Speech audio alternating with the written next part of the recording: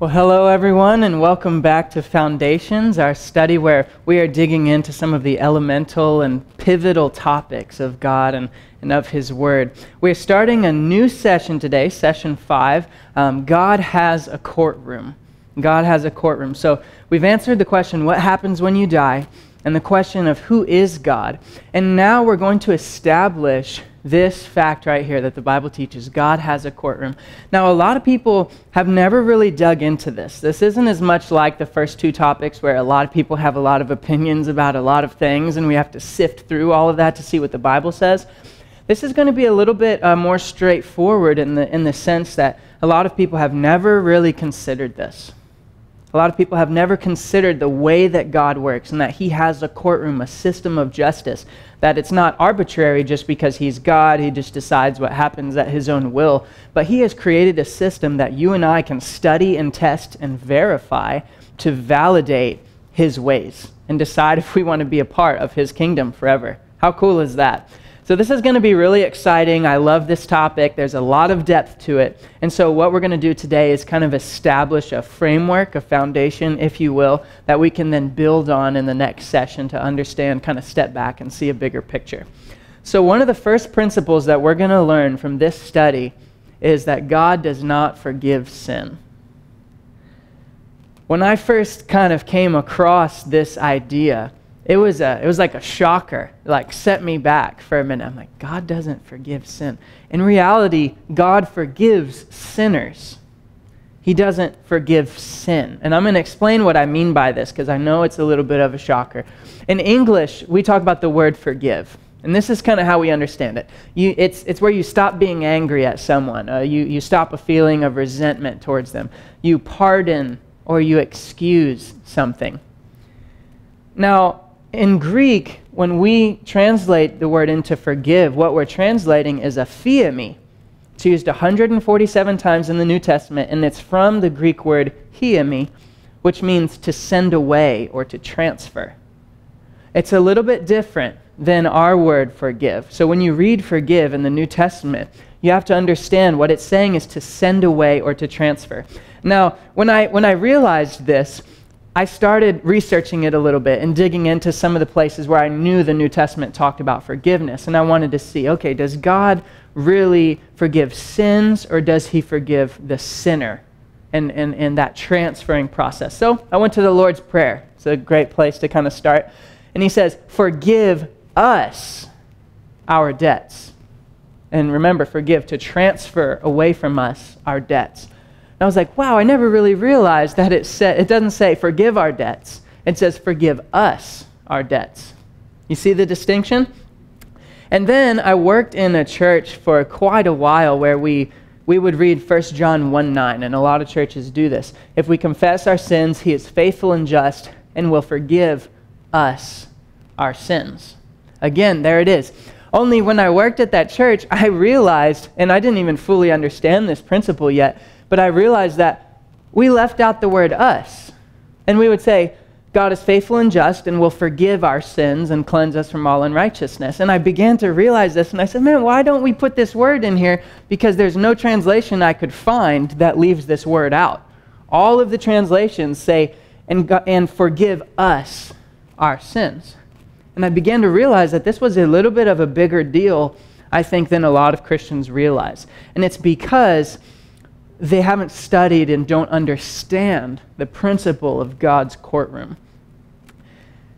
And people will say this one here, this is another really common one, um, when Jesus is, is about to heal the, the paralyzed man, and he says, The Son of Man has the authority on earth to forgive sins. And you say, Aha, see, forgive sins. God forgives sins. But remember what this word means to transfer sins or to send away sins. From who? Well, those other passages tell us forgive us our sins. God is faithful and just to forgive us our sins. So that's what this is saying here. And, and, and in this story, Jesus is saying, you know, you don't believe that I can I have the power to transfer your sins away from you. So I'm going to do something that you think is even more powerful, which is to heal this paralyzed man. Which one is easier to say you're forgiven or get up, take your mat and walk. So that was Jesus' point here in the context. And I asked myself this question I said, man, okay, if this principle is not true, if God really does forgive or absolve or excuse or pardon sins, then what was the point of the cross? If God can just say, eh, I'm God, no big deal, I know you didn't mean it, I know you repent, I'm just gonna, I'm just gonna forget about it like it never happened. I'm gonna excuse it, no big deal, it's gone. Then why did Jesus have to die if he can do that? The fact of the matter is that God transfers sins. And what happened here on the cross was that Jesus became sin for us.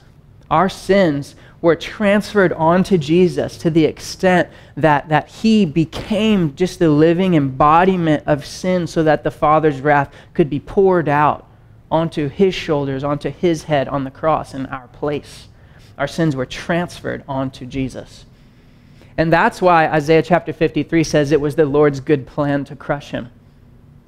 This was the plan for our sins to be transferred onto Christ. Now, God is a perfect, a righteous, and infallible judge and accountant. So much so that the Bible says you are to take a life for a life, an eye for an eye, a tooth for a tooth, all the way down to a bruise for a bruise. A bruise for a bruise. The Bible also says, Do not take revenge, for I will repay, says the Lord. And don't you know when the Bible says He will repay, that everything will be accounted for? For I, the Lord, love justice, Isaiah 61 says. In Psalm 33, the Lord loves righteousness and justice. Isaiah 51, my justice will be a light for the nations. Matthew 12, Everyone will have to give an account on the day of judgment for every empty word they have spoken. Every word. Ecclesiastes chapter 3 God will bring into judgment both the righteous and the wicked, for there will be a time for every activity, a time to judge every deed. You see what I'm saying about this? God, God is a perfect judge. He's, a, he's a perfect accountant. Nothing slips by him. Everything will be accounted for. Now, if, if you wanted to study and understand about, about the law, let's say in, in this country, the United States, what would you do? You would, you would look at the Constitution, our laws. You would look at other laws that have been transcribed. You would look at Supreme Court rulings of what the law is saying. And if you wanted to see justice in action, where would you go? You would probably go someplace like this a courtroom where you could see justice in action. Now, the cool thing about this is that God has a courtroom. God has a courtroom. And it is called the tabernacle, the sanctuary, or the temple, also sometimes called the tent of meeting. Different things in the Bible, but these are kind of the three main words used for it. And now, now everybody's going to say, oh, not this thing.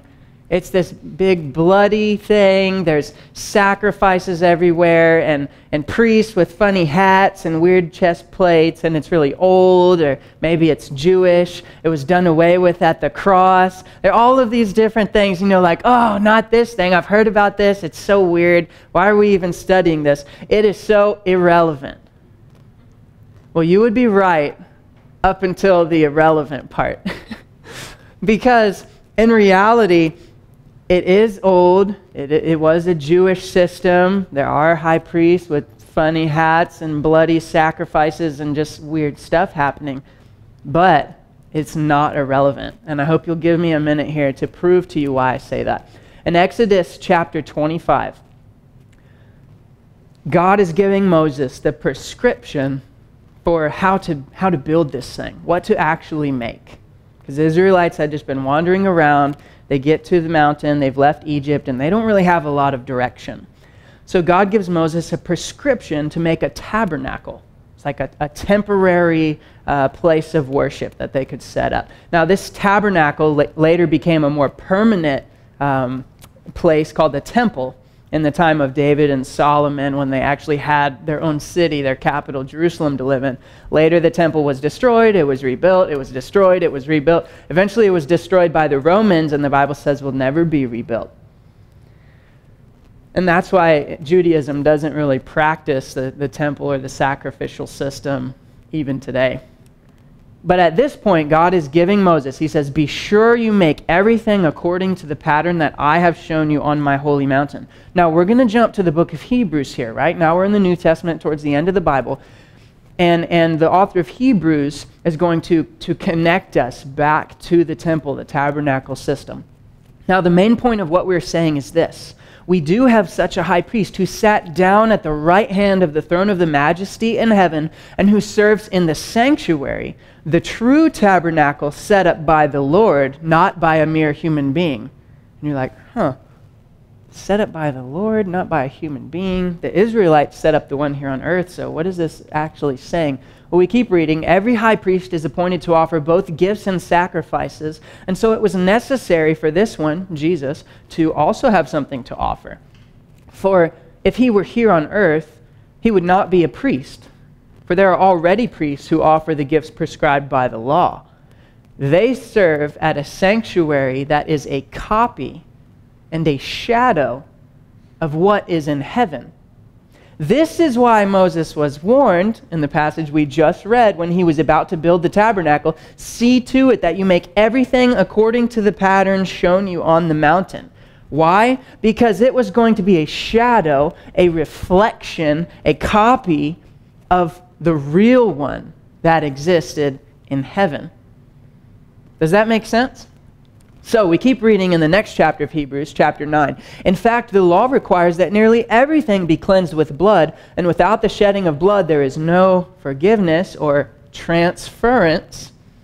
It was necessary then for the copies of heavenly things to be purified with these sacrifices, animals and things like that.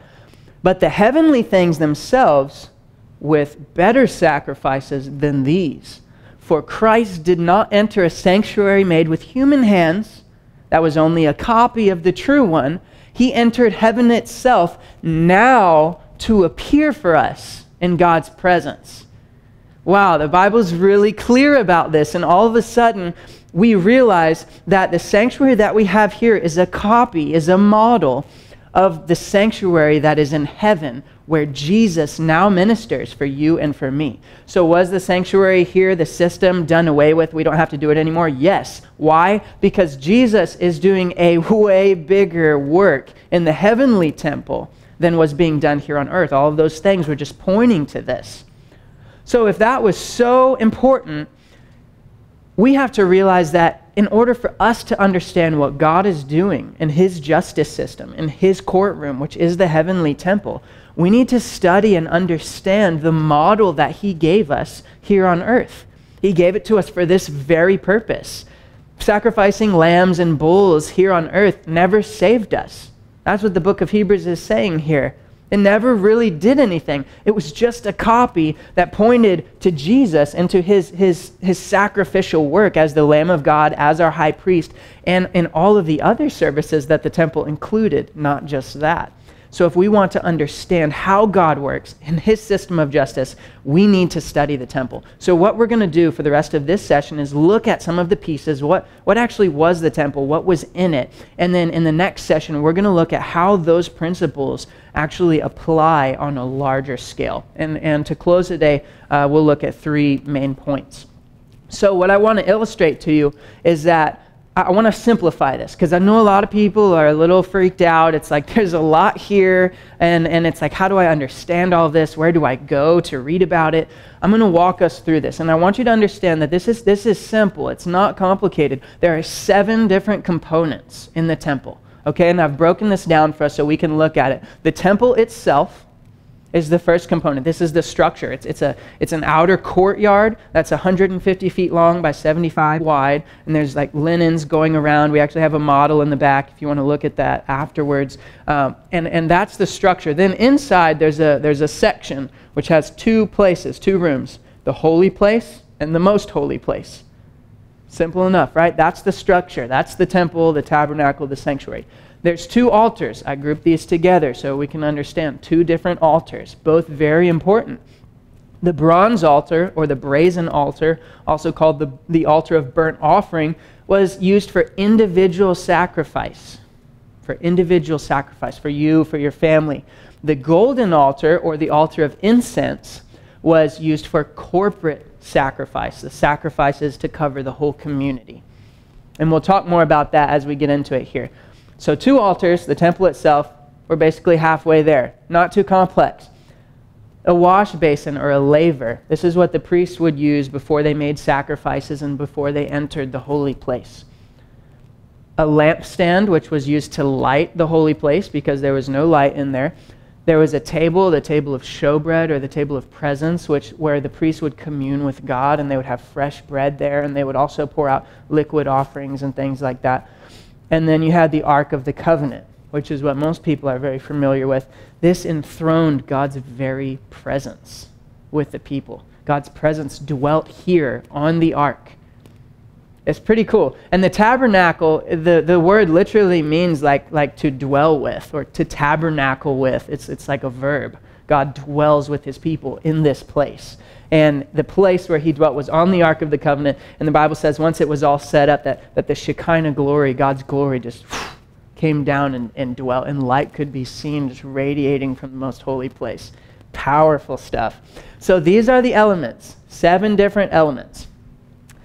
If you want to get these down a little later, you can. I'm going to keep rolling here, and we're going to walk through. I have some visualizations for you of each of these seven pieces, and I'm going to read from the book of Exodus as we look at these so we can understand what it looked like, what these elements were.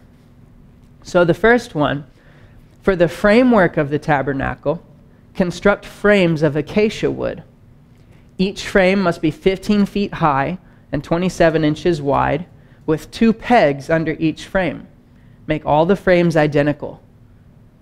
Make 20 of these frames to support the curtains on the south side of the tabernacle. Also, make 40 silver bases, two bases under each frame, with the pegs fitting securely into the bases. For the north side of the tabernacle, make another 20 frames with their 40 silver bases, two bases under each frame. Then you are to make six frames for the rear, the west side of the tabernacle, along with two additional frames to reinforce the rear corners of the tabernacle. These corner frames will be matched at the bottom and firmly attached at the top with a single ring, forming a single corner unit. Make both of these corner units the same way. So there will be eight frames at the rear of the tabernacle, set in 16 silver bases with two bases under each frame. Make crossbars of acacia wood to link the frames five crossbars for the north side of the tabernacle, five for the south side. Also make five crossbars for the rear of the tabernacle, which will face west. The middle crossbar, attached halfway up the frames, will run all the way from one end of the tabernacle to the other. Overlay the frames with gold and make gold rings to hold the crossbars. Overlay the crossbars with gold as well. Set up this tabernacle according to the pattern shown to you on the mountain. Pretty cool, huh? So, this is the structure of the tabernacle itself. All right, now we're going to keep moving, and, and I'm going to go from the outside to the inside, and we're going to look at each element, okay? So, first is the bronze altar, also called the brazen altar, and this is from Exodus 27. Using acacia wood, construct a square altar, seven and a half feet wide, seven and a half feet long, and four and a half feet high. Make horns for each of its four corners, so that the horns and altar are all one piece. Overlay the altar with bronze. Make ash buckets, shovels, basins, meat forks, and fire pans, all of bronze. Also, make a bronze grating for it and attach four bronze rings at its four corners. Install the grating halfway down the side of the altar under the ledge. For carrying the altar, make poles from acacia wood and overlay them with bronze. Insert the poles through the rings on the two sides of the altar. The altar must be hollow, made from planks. Build it just as you were shown on the mountain. So, this was the altar of burnt offering where people would come and make their sacrifices. If you and I lived in this time and we were, and we were Israelites, we would actually come and make our sacrifices at this altar with the priests. It's right in the front of the courtyard, which is where, uh, sorry, ladies, but only the men were allowed there. Uh, different day, different age. And so uh, in this place, you know, the men would come as a representative of their whole family, not every single person, but one from each family, kind of the patriarch, if you will, would come and make atonement. He would have a designated day, and the people would be rotating on a schedule coming in to make their offerings for the year. All right, we keep on moving, and we get to the laver, or the, the wash basin.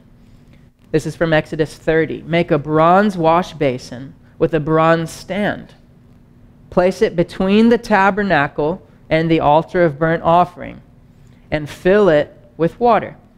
Aaron and his sons will wash their hands and feet there. Now get this they must wash with water whenever they go into the tabernacle to appear before the Lord, and when they approach the altar to burn up their special gifts to the Lord, or they will die. They must always wash their hands and feet, or they will die. This is a permanent law for Aaron and his descendants to be observed from generation to generation. Now, Aaron's descendants was the priesthood. These were the people that, that became the priests in Israel. Aaron was the first uh, high priest. So they would have to wash before they made sacrifice, before they go into the temple as a symbol of purifying themselves before the Lord, before they could make their sacrifices. All right, now this is pretty cool, and this is where it starts to get a little expensive. As you go into the, the holy place, you're going to see this candlestick. Make a lampstand of pure hammered gold. Make the entire lampstand and its decorations of one piece the base, center, stem, lamp cups, buds, and petals. Make it with six branches going out from the center stem, three on either side. Each of the six branches will have three lamp cups, shaped like almond blossoms, complete with buds and petals. Craft the center stem of the lampstand with four lamp cups shaped like al- almond blossoms, complete also with buds and petals. There will also be an almond bud beneath each pair of branches where the six branches extend from the center stem. The almond buds and branches must all be of one piece with the center stem, and they must be hammered from pure gold. Then make the seven lamps for the lampstand, and set them so that they reflect their light forwards.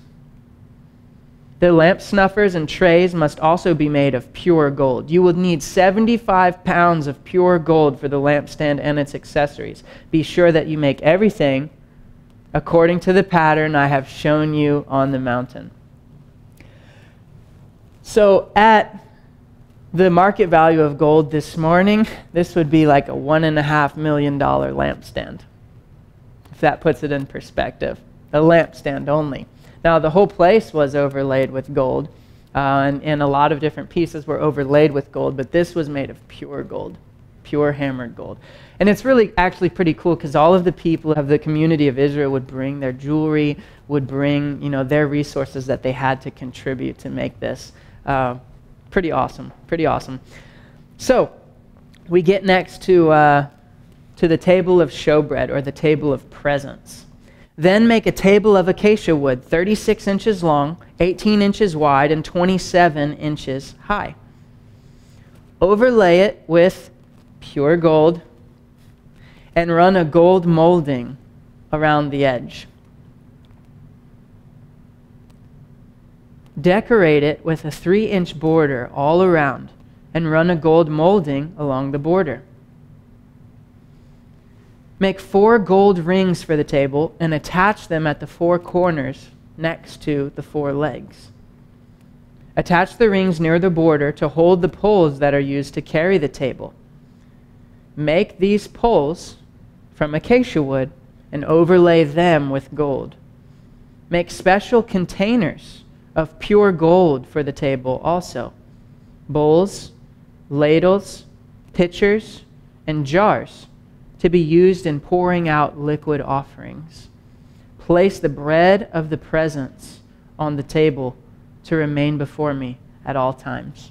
And they would have 12 loaves here, one from each tribe. And the priest would have an opportunity to actually just commune with the Lord here. Really, really cool. Inside of the holy place. So, two more things. We get to the second altar, the altar of incense, called the, the most holy altar. Then make another altar of acacia wood for burning incense. Make it 18 inches square and 36 inches high, with horns at the corners carved from the same piece of wood as the altar itself. Overlay the top, sides, and horns of the altar with pure gold, and run a gold molding around the entire altar. Make two gold rings and attach them on opposite sides of the altar below the gold molding to hold the carrying poles. Make the poles of acacia wood and overlay them with gold. Place the incense altar just outside the inner curtain that shields the Ark of the Covenant in front of the Ark's cover, the place of atonement, that covers the tablets inscribed with the terms of the covenant. I will meet you there. Every morning when Aaron maintains the lamps, he must burn fragrant incense on the altar. And each evening, when he lights the lamps, he must go again to burn incense in the Lord's presence. This must be done from generation to generation. Do not offer any unholy incense on this altar, or burnt offerings, or grain offerings, or liquid offerings. Once a year, Aaron must purify the altar by smearing its horns with blood from the offering made to purify the people from their sins. This will be a regular annual event from generation to generation for this is the Lord's most holy altar. So a different, a different feel, a different purpose to this altar than the other one. And I can't wait for next week to really delve into this uh, with us. But the last piece here, and probably the most familiar one, the Ark of the Covenant from Exodus 25.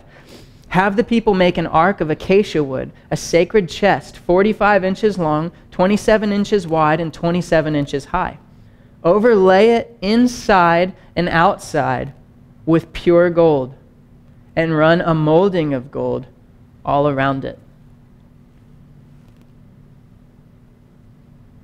Cast four golden rings and attach them to its four feet, with two rings on either side.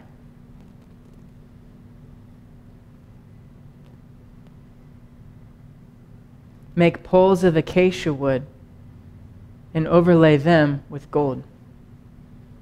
Insert the poles into the rings at the sides of the ark to carry it. These carrying poles must stay inside the rings. Never remove them. When the ark is finished, place inside it the stone tablets inscribed with the terms of the covenant which I will give to you. Then make the ark's cover, the place of atonement, from pure gold. It must be 45 inches long and 27 inches wide. Then make two cherub from hammered gold and place them on the two ends of the atonement cover. Mold the cherubim on each end of the atonement cover, making it all of one piece of gold. The cherubim will face each other and look down on the atonement cover with their wings spread above it. They will protect it. Place inside the altar the stone tablets inscribed with the terms of the covenant which I will give you. Then place the atonement cover on top of the ark. I will meet with you there and talk to you from above the atonement cover between the gold cherubim that hover over the Ark of the Covenant. From there I will give you my commands for the people of Israel. Wow. That's intense. That's really intense. So God is going to meet with his people here in this place. Okay, now I'm excited because we, we've walked through each of these pieces, and each of them has different purposes and different ideas attached to them and, ha- and have a lot of significance. So now that we've done that, I want to take us on a, a virtual reality tour of the temple itself.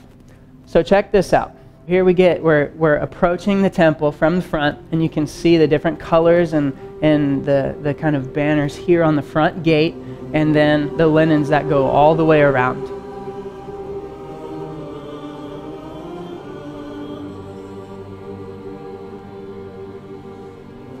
and as we approach here you see the altar of burnt offering the brazen altar with the fire beneath it And this is where the priests would atone for the sins of the people as they would come in day after day on a schedule and offer their sin offerings to the Lord.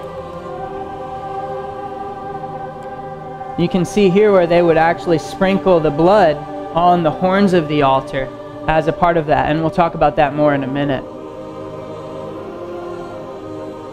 Then, as they would pass that, they would move towards the holy place, wash themselves in the laver, which we talked about. And only the priests were allowed in here. The men of Israel, if they were Israelites, were allowed in the courtyard, but only the priesthood was actually allowed into the holy place. And as they pass through there, you see on the left the lampstand, on the right, the table of showbread, and there's the golden altar in the middle, right in front of the veil, which covers the Ark of the Covenant. There's the menorah of seven candles giving light to this room. There's the table of presence, the table of showbread with the, the 12 loaves. And here's the golden altar where the priests would minister before the Lord in the morning and in the evening each day would burn incense. And as you pass through the veil,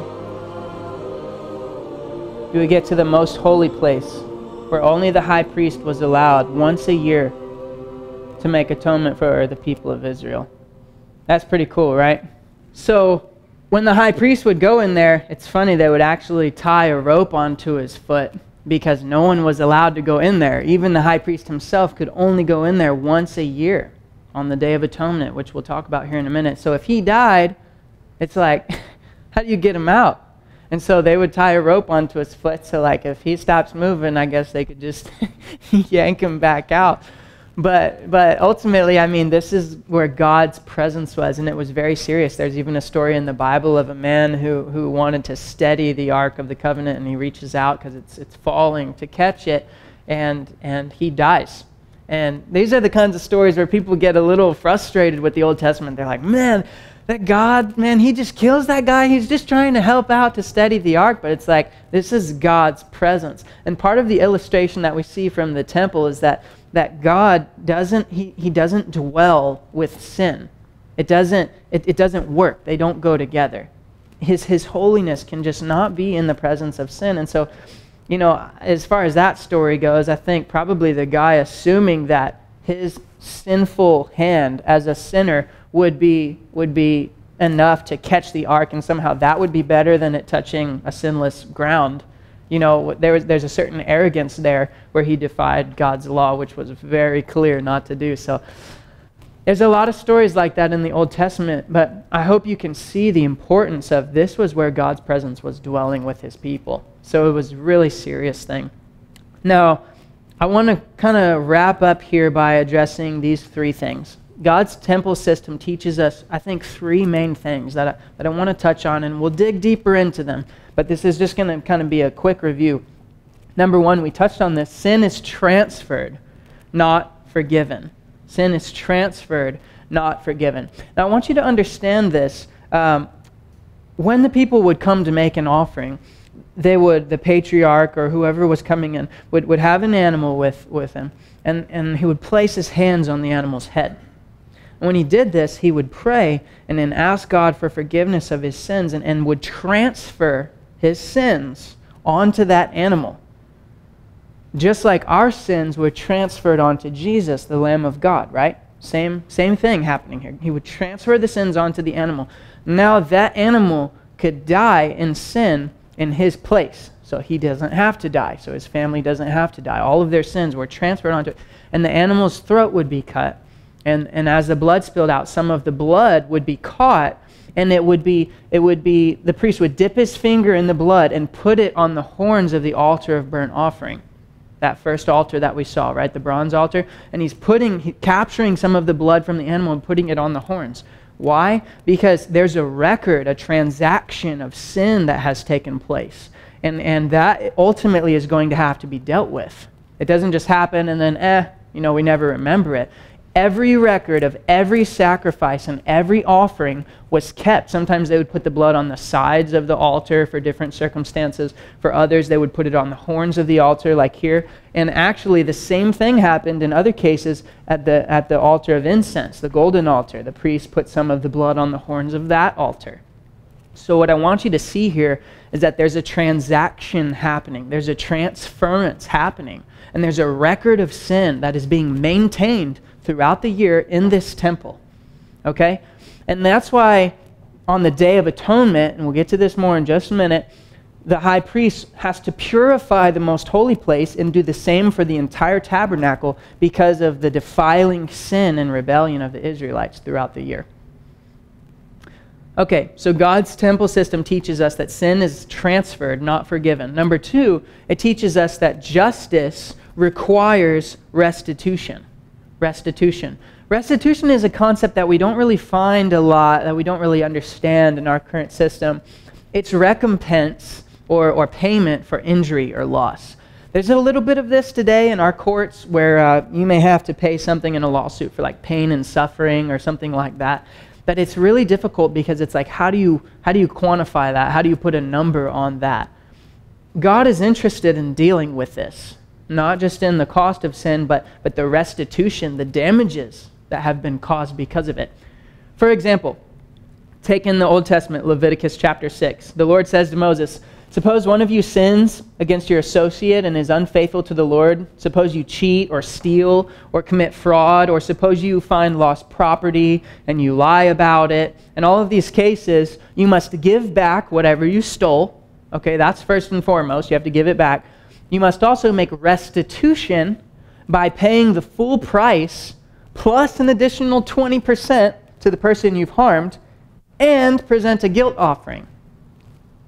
So you got to give back what you took, first of all. That's just, that just makes it, you know, gives back what, what's already owed. Then you have to pay restitution because you've taken something from the person, you've inconvenienced them, you may have harmed them in some way. So you pay restitution for that. And you have to make a guilt offering before the Lord for your sin. So think if, like, uh, if I stole your car, right? To make things right, yeah, I got to give your car back in the same condition, or if I've lost it, I've got to give you the value for what I've taken. Now, on top of that, I've caused you a great inconvenience or maybe some harm. Maybe you weren't able to get to work on time. Maybe you lost your job because of that. Maybe uh, your life just, you weren't able to accomplish or to do the things you were supposed to. I've, I've, I've caused you damage other than just taking the car. That's restitution. And then beyond that, I have my own issue with the Lord to deal with an offering. So I want to take this from the Old Testament and move it to the New Testament to an example I think we can understand very clearly. When Jesus comes by, he looks up at Zacchaeus, you know, the wee little man climbed up a sycamore tree for the Lord he wanted to see. Jesus calls him by name Zacchaeus, you come down. Sing that with Abby. Quick, come down. I'm going to be a guest at your house today. Zacchaeus quickly climbs down and, and took Jesus to his house in great excitement and joy. But the people, were displeased. He has gone to be the guest of a notorious sinner, they grumbled. And we like we look at these people and we're like, oh, you nasty, judgmental. Okay, look, Zacchaeus stole money from all of them. He's a notorious sinner. This is the guy that walks in the room and you're like, that scallywag owes me a hundred bucks. If you're a pirate, I don't know what else you call him. uh, He's a notorious sinner. Everybody knows this guy's taking money from them. Everybody knows. So they're upset. Meanwhile, Zacchaeus stood before the Lord, and man, this is like on par with like the Nineveh story where all the people repented. This is a big one in Scripture.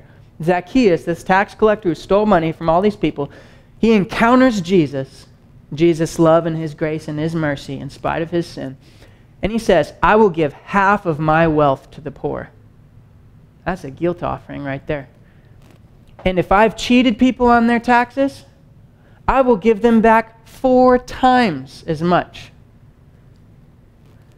Zacchaeus was either really wealthy or really broke after this. I don't know which one. I'd like to think that he pretty much gave up everything. Like half of what he owes, he gives to the poor, and the other half of what he has, he owes people, and he just gives it. In the Old Testament, there are situations which would require 400% restitution. So think about that next time you're thinking about stealing something. Zacchaeus goes to, not only does he give half of what he has to the Lord as a guilt offering, but he goes to the fullest extent of the law and gives back 400% of what he took back to all the people. And that is why Jesus says, Salvation has come to this home today, for this man has shown himself to be a true son of Abraham. Faith expressing itself in obedience. We're going to talk about that when we get to our study on salvation uh, a little bit later down the road. So, do you see restitution at play here? Now, this gets a little bit more complicated sometimes when it doesn't have to do with money. But let's say it, it's like a horrible situation or a tragedy of some sort. Um, I think of really awful situations that I read about in the news where, like, perhaps a child has been killed or just something grievous and terrible like that. And it's like, whatever you believe about the death penalty, maybe sometime we can do a video study on that. But let's just say a person is given the death penalty for the murder of a child. And their life is taken because the child's life was taken. Can that cover the effect of the loss of that child's life? I mean, a, a family completely destroyed, parents just grieved and, and in the pit of depression, uh, siblings separated from their brother or sister you know that how that affects their development. What about what the world has been robbed of in the life of that child? Maybe was going to going to cure a disease or going to create some beautiful piece of artwork that would inspire people. You know there's so much that has been lost besides just simply a life. And how can we deal with that? You take the life of the criminal and you say okay life for a life. In god's economy in god's justice system he is going to deal with restitution all of the damages that have been caused because of our decisions. That's something that the temple system teaches that, that blows by most people if they're not aware of it, if they don't study it. So the temple system teaches us that justice also requires restitution. And then the third thing, as we're going to wrap up here for today, God's temple system teaches us that the temple required cleansing. And I touched on this when I talked about the blood being put on the horns of the altar a lot of people they don't understand and a lot of christians and they think that that because the sin was transferred to jesus and, and jesus died to pay the, the price for sin and so then now everything's just hunky-dory and we're all good and there's nothing else that has to happen and we're just waiting for jesus to just pluck us up and and then burn up all the wicked, and then we'll be in heaven forever, and that's it. And they don't realize that God has already given us a template. He's given us a system of dealing with sin. And, and part of that system shows that there is a record. When sin is transferred, when our sin was transferred onto Jesus, when the sin is transferred onto the animal and the animal's killed, when Jesus died on our behalf, the record of sin, the blood on the horns of that altar, still remained. And so, what did God give as a prescription for dealing with that record? Well, there was one day a year and we've just read this verse, the Day of Atonement, where the high priest would purify, starting in the most holy place, moving out to the holy place, and the entire tabernacle eventually, because of the defiling sin and rebellion of the Israelites. This had to be cleansed. The temple had to be cleansed to be made whole again, because there's this record of guilt and of sin still there in the temple. This was the Day of Atonement. And we're going to get into this next week. It's kind of where we're going to pick up in the next session um, on the Day of Atonement. But what I want for us to understand is that cleansing process has to happen. It has to happen. Now, of all of the concepts in the Bible, the temple system and services are among the most profound and beautiful and amazing. They tie together every single biblical concept in a way that allows us to, to view, to study, and to, and to test and to understand God and His will and His ways. It provides a backdrop for us to study those things and to decide for ourselves whether we think that His ways and His system of justice is valid. It's really, really powerful. And I want to leave us with this the Day of Atonement, the cleansing of the temple. This was the, the most exciting, spectacular, uh, nerve wracking day of the year in the Jewish culture. They still celebrate this even today, even though the temple, the sacrificial system has been kind of done away with. Um, still a huge, huge day, the biggest. If that day is so massive because, because it's taking care of the record of guilt in the temple here on earth, and that temple here on earth is just a fraction, is a copy, is a shadow of the one that exists in heaven. In the same way that the model temple we have in the back, it's not really conducting sacrifices and really doing things like it was in the temple here on earth. It's minute in comparison to that. Well, in the same way, the one here on earth is so minute in comparison to what's happening in the one in heaven. Same thing. So, if the Day of Atonement is so huge for that temple here on earth, how huge do you think it is when it's happening on the, the heavenly scale, the global scale of the, the universe? So, that's what we're going to dig into. I hope you'll join us next time for session six with our study on God has a courtroom. If you want more information, please visit us online at rrfaithministries.org or you can email us at rrfaithministries at gmail.com. We'll see you in the next session.